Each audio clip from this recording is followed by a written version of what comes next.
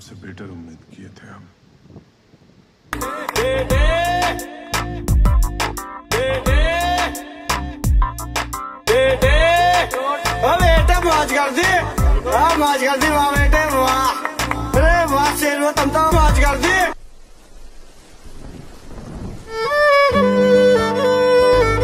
बुरा लगता है भाई आप लोग